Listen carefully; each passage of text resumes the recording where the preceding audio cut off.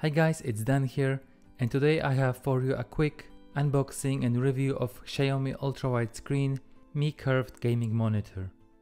So if you have or you're planning to buy M1 Mac, you are probably aware that when Apple released the new M1 devices, it turned out that they support only one external screen.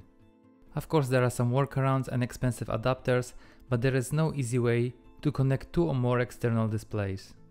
Before I bought my M1 MacBook, I myself was using two external displays, 27 inches Lenovo screens. You can see here my previous setup. But after I bought M1 MacBook Air, due to lack of choice, I kind of started using one screen for my private MacBook and the other one for my work laptop. Of course, moving from two screens to one is not very pleasant, especially in terms of multitasking. It just seems that there is always not enough space so after a while I decided that I will try to get along with M1 limitations and just buy one ultra wide screen. After some research I chose Xiaomi ultra wide gaming screen which has 34 inches and a very good price to parameters ratio. As you can see the screen has WQHD resolution, very good sRGB color coverage, 144 Hz refresh rate, FreeSync technology and low blue light mode. You can check all the parameters on Xiaomi's website and let's move to unboxing. If you are new to this channel then please hit the like button to help with YouTube algorithm and subscribe for more reviews and tips on macOS.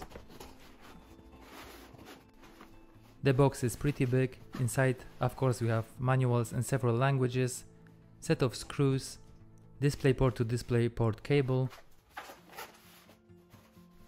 two parts of the stand,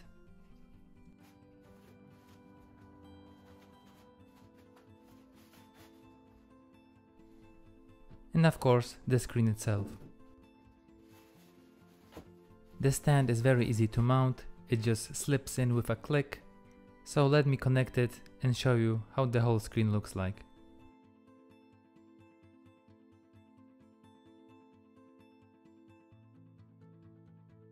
So this is it, Xiaomi curved gaming monitor 34 inches.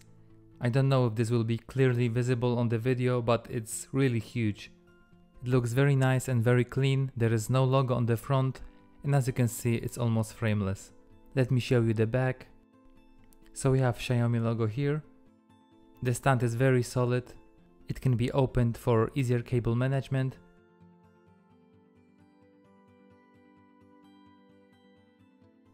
And there is also magnetic cover for the ports.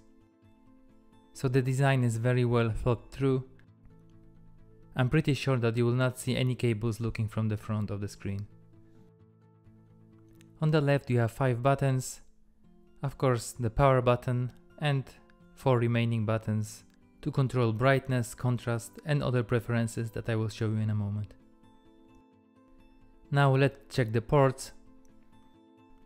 Unfortunately there is no USB-C port. As you can see we have two HDMI ports, two display ports and one port for headphone jack. And on the right side we have a place to connect the power cable. Now let me show you the cable management. I will take off the cover from the stand, put the cable through and connect it to the port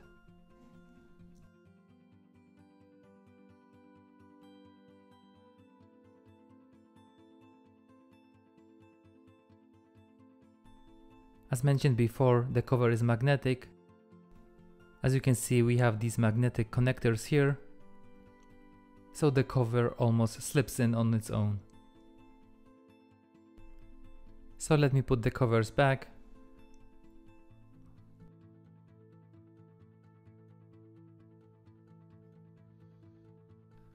And as you can see, when all is done, it looks very clean, even from the side. Very nice look. The screen connected to my M1 MacBook without any issues. As mentioned before, in the box we have only DisplayPort to DisplayPort cable, so I had to buy DisplayPort to USB-C cable, which supports 144 Hz. If you're interested, I will leave the link to the cable in the description below. As you can see, I have 144 Hz as promised, but what is worth noting is that the manual actually says that you can get 144 Hz only on DisplayPort and on HDMI you can go only as high as 100 Hz. So if you want the highest refresh rate, please be aware that you have to use DisplayPort. Except for that, macOS looks really amazing on the screen. By default the colors were a bit muted so I had to adjust it a little bit. So let me now show you the preferences using the buttons on the side. So as you can see on the right side we have approve button, two arrows up down and cancel. And these correspond to the buttons on the back so you can easily control the settings without checking which button is which. So the settings are pretty standard, brightness contrast, picture, PQ settings, smart mode, window settings, and general settings. You can also enable here picture in picture mode with split mode, which means that you can connect two devices and just split the screen in half.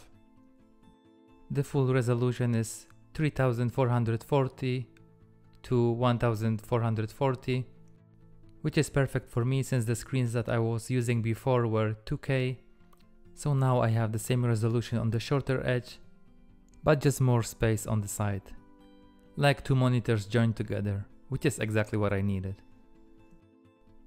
Of course for a screen like this I would advise you to use some window management app such as Magnet or something similar and as you can see with app like this working with multiple windows and multitasking in general is just a pure pleasure. I'm using this screen now for over 2 weeks and I'm super satisfied with it.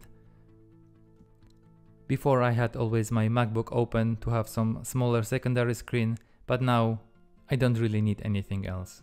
If you're lucky I think you can grab Xiaomi screen even for $350 which I think is amazing price for this screen. So if you are looking for an ultra wide screen for your M1 MacBook, this one is definitely something to consider. Okay guys, thank you for watching, I hope you liked this video, if yes please hit the like button and subscribe to my channel for more videos and reviews like this. Thank you for watching and see you in the next one.